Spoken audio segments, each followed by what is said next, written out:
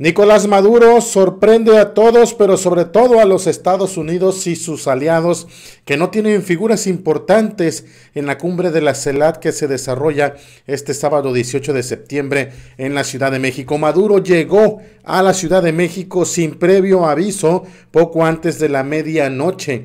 La visita sorpresa de Nicolás Maduro pone los focos total y absolutamente este sábado sobre la CELAT que ya de por sí tenía bastante miras, bastante miras encima por la posibilidad de que se discutiera ahí un cambio en la OEA. Nicolás Maduro llega mientras que Iván Duque, el colombiano, está ausente.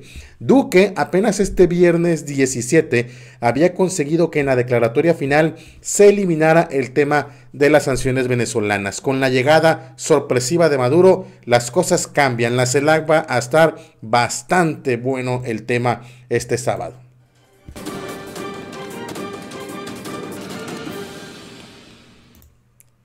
Hola amigas y amigos, qué gusto saludarlos en este canal. Muchas gracias que están viendo estos videos.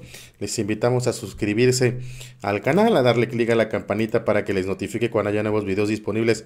Gracias por toda su confianza, gracias por todo su apoyo. Bueno, visita sorpresa de Nicolás Maduro, una jugada que ahorita comentaremos eh, bien a bien qué repercusiones tiene, eh, pero sin duda alguna que las cosas se están moviendo radicalmente en el tema de la cumbre de la comunidad de estados latinoamericanos y del Caribe, la CELAC, que renueva este sábado 18 la presidencia pro tempore que tenía México y que parece que va a quedar en manos de una Argentina cuyo presidente Alberto Fernández no viene a la Ciudad de México, no estará en México participando. Eh, digo, eh, Impresionante que el que va a asumir no llegue. De hecho, eh, Felipe Solá, el canciller eh, acaba de llegar casi a las 11 de la noche. Lo sorpresivo fue que llegara Nicolás Maduro. A lo largo del día estuvieron llegando algunos presidentes latinoamericanos a México. El presidente anfitrión, el presidente López Obrador, se reunió con alguno de ellos. Aquí lo vemos con el presidente de Costa Rica, Carlos Alvarado Quesada. Aquí está el presidente de Guatemala, Alejandro Yamatei. También aquí eh, son dos de los que llegaron. fueron reuniones que el propio presidente López Obrador comentaba. También él comentaba que recibió en Palacio Nacional a los presidentes de Guyana, al de Honduras y al de Perú, a Pedro Castillo. Una reunión que se esperaba. La reunión especialmente con Pedro Castillo era, eh, bueno, pues Pedro Castillo es un personaje que va llegando a la eh, presidencia de Perú, a la comunidad, un maestro, un profesor rural. Aquí lo vemos saludando al presidente López Obrador con su característico sombrero. No estaba eso. De ahí el presidente López Obrador tuvo una cena en Palacio Nacional con los presidentes que han llegado. Eh, fue una cena en el Palacio Nacional de México. Hay algunas imágenes que han estado difundidas por los medios de comunicación. Llegada de los miembros de la sexta cumbre de la CELAC. Tenían cinco años que los presidentes latinoamericanos no se reunían.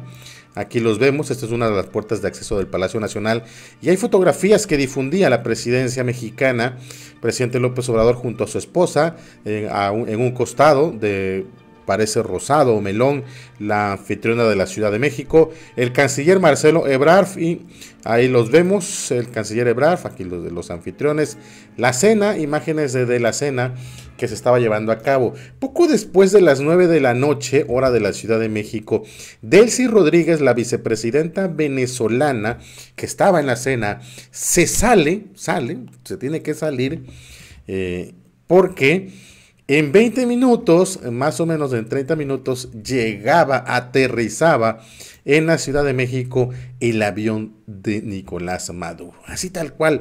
Fue Delcy Rodríguez, le avisó a Marcelo Ebrard. Fíjate que me acaba de hablar el presidente Maduro, que está por aterrizar aquí.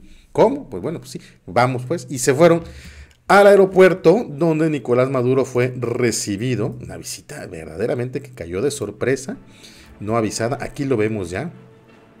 Aquí está el presidente Nicolás Maduro. Ya aquí le prepararon, eh, hay un, obviamente hay un hangar presidencial. Ahí vemos a Maduro con el canciller Marcelo Ebrard.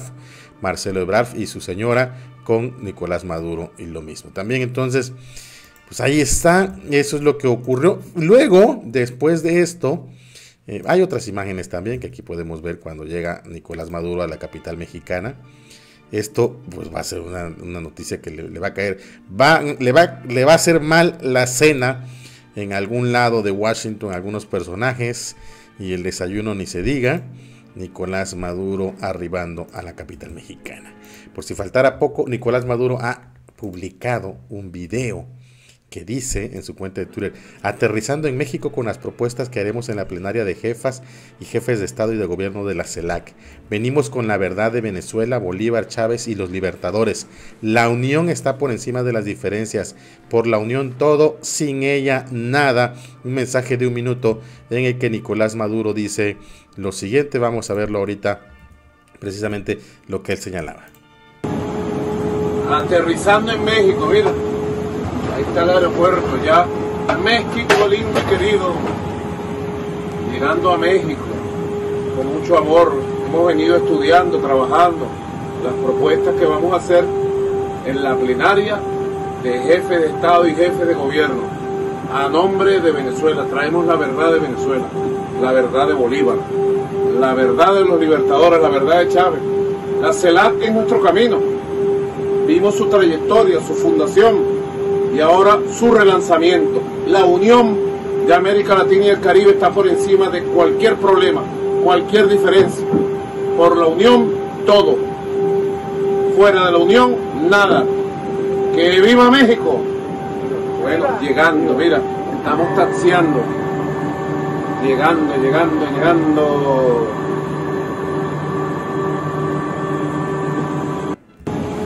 Pues vaya, vaya, vaya sorpresa la llegada de Nicolás Maduro agarra sobre todo de sorpresa a un gran ausente en la reunión mexicana, en la reunión de la CELAC en México, Iván Duque. Iván Duque había logrado el viernes romper el consenso en torno al documento final de la CELAC.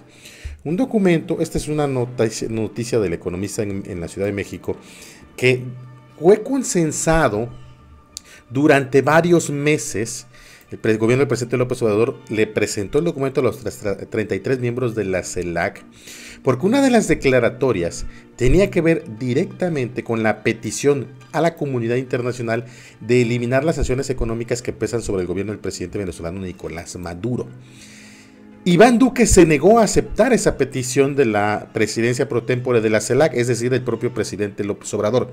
Iván Duque no, viaja no viajó a la Ciudad de México para participar en la cumbre de la CELAC que se desarrolla en Palacio Nacional el sábado 18 de septiembre, precisamente por no estar de acuerdo.